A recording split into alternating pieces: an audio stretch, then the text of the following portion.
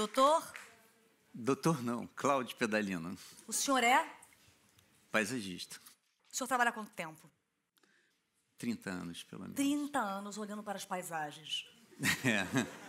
Maravilhoso, tu vê, eu sou um privilegiado. O auge da sua profissão de paisagista é ver seu trabalho de uma proteção de tela do Windows? Comente. Quem sabe, né? Seria bom. Já entendi como você é hoje. Já entendi, senhor. Uma questão que me atormenta há anos. Por que grama pinica? É, porque você sentou de bunda de fora, Não, eu talvez. tava, eu tava, dando descalço, senhor. Era pinica meu pé, não tinha nada Ah, com... não é possível. Sim. Pinica mais a bunda. O senhor já sentou com a sua bunda no meio da grama? Com na certeza, casa de um... claro. É o que o senhor faz quando os clientes estão saindo para almoçar? O senhor dá uma sentada na grama com a bunda de fora? Não, é isso? não, na casa de cliente eu não faço, não. Bunda de cliente o senhor não faz. O senhor não, Não, poda a bunda, bunda de de cliente. cliente. Eu respeito a bunda dos clientes. Mas se a gente pedir, por favor, com um jeitinho, pro senhor podar minha bunda, não tem como. É. A minha mata, o matagal, vir com um facão e tirar todo o empecilho que tem ali para que a gente possa ter uma noite prazerosa de quinta-feira. Não rola. Não rola. Infeliz- Depende, né? Se Depende for uma bunda, cliente bonita e Então não é rolar caso. uma paradinha, quem sabe? Entendi. O senhor tá assim o tempo inteiro. Acho que É, hoje. não, então vou- Acho que hoje é o meu dia de sorte. Quantas vezes o senhor já foi contratado para disfarçar um prédio feio? Puta, cara, muitas vezes. Puta. muitas vezes. Esse é o seu trabalho. Um arquiteto não fez e um engenheiro não fez um- um- uma coisa corretamente, o senhor vai lá e põe uma samambaia e disfarça aquela, aquela portaria toda de Ah. azulejo verde.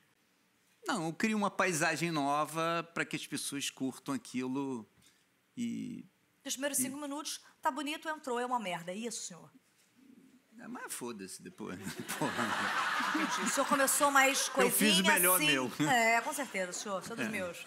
Sou dos meus. Vamos fumar um, vamos fumar um dia Tá bem. juntos. Fechado. Isso é maravilhoso. O senhor parece aquele Steve Martin, conhece? Puta que pariu, todo mundo Para diz de me xingar, é a quinta vez hoje. Que isso? Parou. Todo mundo fala isso. Com um pouquinho de Nelson Rubens e um Luciano Huck passou pela frente e deixou só uma semente. O senhor já incriminou alguém plantando uma prova? Não, não.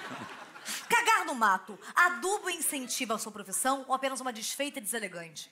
É, eu acho que é uma desfeita O deselegante. senhor não ficaria feliz se eu chegasse e falasse que bacana seu jardim, fizesse um bolão de cocô na tua bromélia? Não, é não, elegante, não. não é do lado da minha parte. Não, não, acho que não. O doente de jardim ainda é um grande inimigo do paisagista, comente? Não, tem gente que gosta. E aí. São mais as pessoas marcafona, não é, doutor? Não, não sei. Eu acho que gosto é igual. Mas o senhor no seu trabalho, o senhor que é um homem chique, um homem que tá com essa camisa polo incrível, com esse Gostou? relógio. Incrível, Beleza. bacana. Eu já sei que o senhor me odeia, não tem problema não, eu vou continuar aqui. não odeio. Não tem problema, eu tô acostumada. Eu tô acostumada, não tem problema. O senhor, se uma pessoa chega e fala, quero um chafariz e doente de jardim, o senhor põe tranquilamente, mesmo que afete seu trabalho, o seu finesse? Não, não ponho nem fudendo, cara. Senhor Não, começou... talvez fudendo, talvez vá. Você tá assinadinho, isso é uma delícia, sabia, queridão? Que delícia esse brother! O verde areja a cabeça, acalma a alma e dá uma sensação de paz. Qual a importância da maconha para o homem moderno? Não, relaxada, né? O senhor fuma às vezes? Estou falando uma boa, de brothers. Não, não, não. De quem não tem um fumo, rachixe não. na bolsa. Não, não. Não fosse li- liberado, talvez. Mas o senhor vai para Amsterdã, come teu brownie, põe teu supositório de Como, como? cogumelo, É, se eu for lá, for na, na- no Uruguai também, né? Ah, aquele que sabe. Ah, maconha. São É. 12 tipos de maconha que sabe tudo, tem uma listagem maravilhosa na sua cabeça. E qual Sim. tipo de planta você recomenda para ocultar o pé de maconha que eu tenho em minha casa? Uma planta que É. floresça bonita que a polícia não consiga perceber. Não, você pode ter. Se é legal, você pode ter. Não é legal, senhor. É legal. Ter pé de Se maconha você na casa tem- não é. Bom, eu não sou especialista em maconha. Claro que é. Você Não, não você- sou em maconha, não sou, não. Tá na cara que É é, uma doutor. droga ilegal. Que isso, é uma delícia de ter. ma- O senhor aceita, por exemplo, mudinhas? Quando a pessoa te dá de presente como senhor é paisagista. Toma essa mudinha que eu trouxe. Ah, lógico que eu aceito. Posso te dar uma? Pode me dar. Sacanagem, doutor. Eu quis aproveitar isso aqui que estava gravando comigo desde o começo do programa. O senhor tem amor pelas plantas, conversa com as plantas, é, desabafa com as plantas? Não, normalmente essas pessoas estão internadas ou coisa Não, parecida. senhor, eu É. converso. É, é- é- é uma maneira de você falar com a natureza. Conver- É. Bom dia, Palmeira. Bom dia, senhor, senhor Erva. Não tem isso? O senhor não. Não, não, não, não, não. É. Mas Não, um não, não, tratamento não é. resolve isso. Mas eu bem. não tenho isso, senhor. Não eu não tenho essa coisa de falar sozinho. Um minutinho, é, Cláudio. Eu tô falando o senhor normalmente, eu, não- em nenhum momento tem esse tipo de, de problema. O senhor tá me acusando de algo que Não, realmente- não, eu não tô achando que é problema. É não Eu ficar, achando que é uma eu solução boa alongando. você, Não, cara. senhor. A solução boa pra mim é estar trabalhando dignamente, ajudar a minha família, que não tem dinheiro pra comprar uma muda de planta, uma árvore, onde meu pai foi visto uma vez e falou, vou, vou pegar um coco e nunca mais voltou. O senhor não conhece a minha família, doutor, e com certeza não quer conhecer. Porque eu já entendi que a gente travou agora uma grande batalha entre eu e o senhor. Desculpa, agora vai ser assim. O objetivo do paisagismo é utilizar plantas para criar um ambiente externo harmônico, esteticamente agradável para o cachorro do cliente defecar. Não, Com certeza não, voltei ao normal. eu fico puto quando defeca no meu jardim. O senhor tem um problema sério com a fase anal, Não tenho, não. com cocô. Quer dizer, a gente não pode conversar, não pode ser livre. Como é que é o Não, senhor... você pode fazer cocô no lugar certo, não no jardim. Mas não é o vaso? O vaso- Eu, eu, eu entendi que era o vaso. Não, você vai botar o vaso no meio do jardim, eu nu- nunca fiz Mas a isso. casa é minha, tô pagando meu IPTU tranquilamente, eu não posso fazer minha bola de cocô onde Não, eu quiser. o doutor. vaso no lugar. Você me chama que eu arrumo um lugar bacana pro teu vaso. É verdade que as plantas sentem a energia da pessoa? Por isso que minha planta me bloqueou no Instagram? Quem sabe? O cravo e a rosa, um paisagista poderia ter resolvido essa disputa antes que as coisas chegassem às vias de fato? Talvez. Vamos assim até o final, no talvez, no, no coisa? Vai ser assim nosso encontro, senhor? Ou vai ser um encontro de amor? Grandes amigos vão passar o Natal juntos? Pois é. Vai ser assim. Ele tá mexendo comigo. Ele quer. Ele quer coisa. Uma planta que adocica a sua vida é um Beto Babosa? E qual sua atriz predileta? Seria Andréa Horta?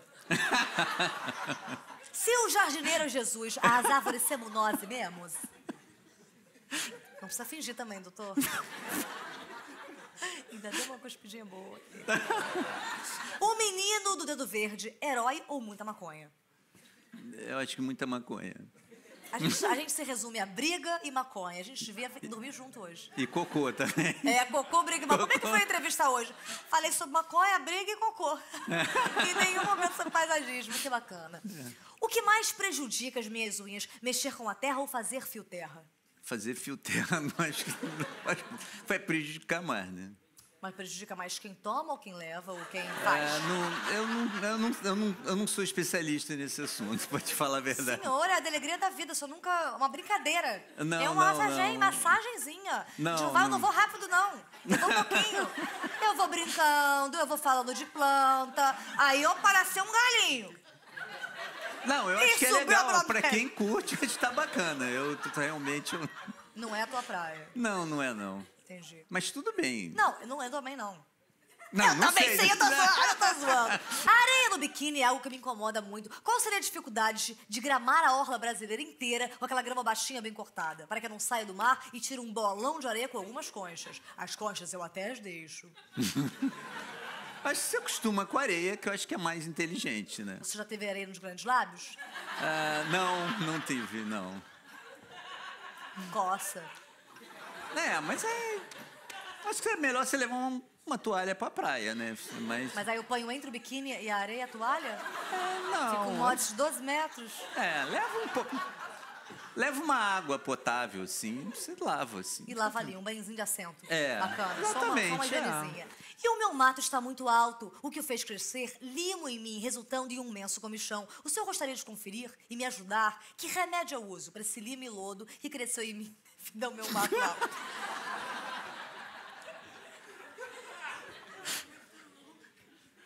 Porra, sei lá. Qual é a função da compostagem além de cheirar a defunto? Adubar as plantas, né? O senhor também trabalha com adubo? Tem aquela pessoa que pega a terra e vem tem... É, não, é um processo mais complexo que a gente usa. Como é o processo, senhor? Eu quero te ouvir. Tem as adubações orgânicas e inorgânicas. As orgânicas são turfa, que é um material ah, Trufa. turfa. Trufa. Trufa é outra coisa delicioso, mas não é, é outra coisa. Acabou? Eu, ai, Não, eu posso explicar tudo. Eu quero, é quero uma ouvir. adubação, não é em vez de compostagem, a tufa é um é- Trufa. a tufa depois A tufa depois da tufa vem o petróleo. Depois da. Inventou um dado pra valorizar o negócio da, do Nada adubo. disso. Depois da turfa vem o petróleo? O petróleo, exatamente. É um processo de decomposição, decomposição Os da petróleos natureza. são tirados por grandes empresas do fundo dos mares, doutor. Exatamente. Vem na mãe da Mas terra. antes é a turfa. O senhor inventou essa palavra, doutor? Não inventei, não. Vem do latim, que nome? Que é turfa? Porra, não tem. Não. Do latim, porra, não faço a menor ideia. Quando o senhor faz um trabalho e alguém critica na sua frente sem saber que é de sua autoria, você faz a muda? Não, eu não me preocupo muito com isso, não. Com o que, que você sempre- se preocupa, seu Cláudio? Eu sempre dou o melhor meu, então. Te amo tanto, ele é muito lindo. Eu sei. Meu, não Léo Maia mais lindo dessa minha vida. Eu tô amando o seu melhor. Nunca deixe ninguém falar pro senhor que o senhor tá dando o seu melhor. O senhor é maravilhoso, incrível, fofo. Tá me apertando um pouco pra parar? Tá sim, mas não tem problema.